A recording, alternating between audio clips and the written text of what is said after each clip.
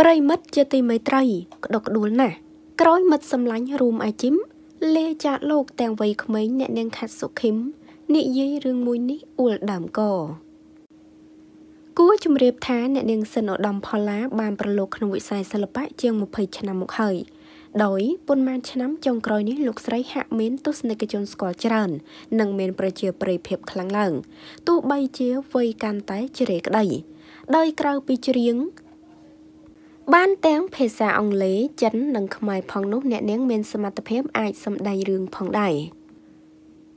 ជាការពិតកាលនៅមានជីវិតអ្នកនាងសិនឧត្តមផល្លានាពេលថ្មីថ្មីនេះបានដាច់ចិត្តទំលាយប្រាប់មហាជនក៏ដូចជា មិត្តភ័ក្តិរួមអាជីពថា លោកស្រីបានរស់នៅជាមួយនឹងជំងឺមហារីកអស់រយៈពេលជាង1ឆ្នាំមកហើយខណៈដំបូងឡើយគឺមានជំងឺដុំសាច់កូនកណ្ដោនៅកក្រោមស្លឹកត្រចៀក ប៉ុន្តែ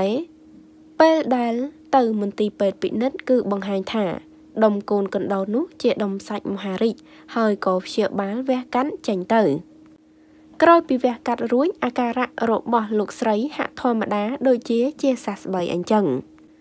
តែយ៉ាងណាបន្ទាប់ពីជានៅកន្លែងចាស់វាបានវិវត្តខ្លួនទៅស៊ីដល់ខួរក្បាល និងបានបង្កើតជាសាច់ដុំមហារីកក្នុងខួរក្បាលតែម្ដង ដល់រហូតคล้ายទៅជាដំណាក់កាលធ្ងន់ធ្ងរអ្នកនាងក៏បានលេចាកលោកនៅថ្ងៃនេះតែម្ដង បន្ទាប់ពីអ្នកនាងសិនឧត្តមផល្លាទទួលមរណភាពបើក្រឡេកទៅមើលគណនីរបស់អ្នកនាងខាត់សុខឹមដែលជាមិត្តរួមអាជីពជាមួយគ្នាបានបង្ហោះសារបែបនេះថាលេហើយសម្លាញ់ទៅមុនហើយអីក្នុងនាមនាងខ្ញុំជាសិល្បករ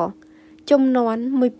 1997ដំណាលនឹងអ្នកនាងសិនឧត្តមផល្លាជាមិត្តក្លើ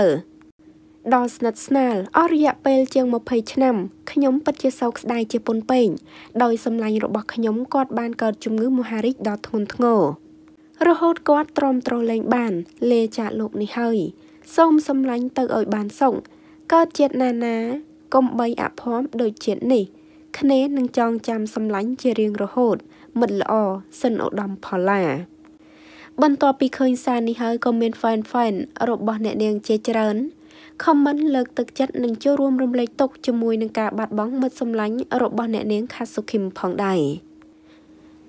ចាអ្នកនាងខាសុខឹមនិងអ្នកនាងសិនឧត្តមផល្លាពួកគាត់គឺជាក្លៅនឹងគ្នា